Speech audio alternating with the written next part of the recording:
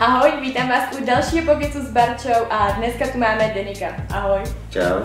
Máme tady prostě první otázku a to je, jak reagují tví rodiče na to, že hraješ. No, jako snaží se mě podporovat a chodí se dívat na akce, kde hrajou, tak si myslím, že hrajou kladně. A bylo to jako od začátku, nebo, nebo úplně ne? Preferovali školu, ale teď už aj trochu je to dobrý.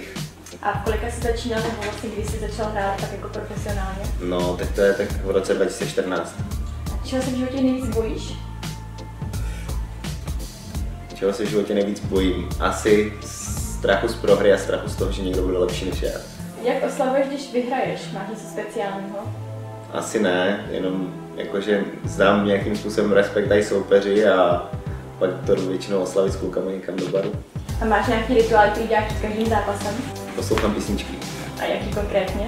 Mm, nějaký motivační, anebo zrovna ty songy, které mám rád. Jakože není to tak, že bych poslouchal furt to stejné, ale jakože snažím se to obměňovat.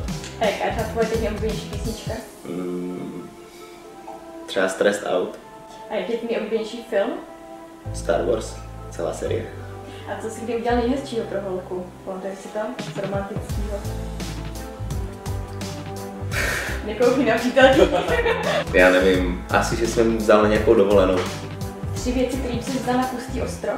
Počítač, internet a nevím. A se váží další otázka. Co by si dělal, kdyby si neměl týden počítač? Jak by si to zabavil? Mm, chodil bych ven, cvičit, mm, třeba s kamošem někam a tak. Vyměnil by si svoji holku za tým? Kdyby jsi měl vybrat? To asi ne, ona by šla se mnou. To je od nás všechno a vidíme se zase příště. Tak ahoj.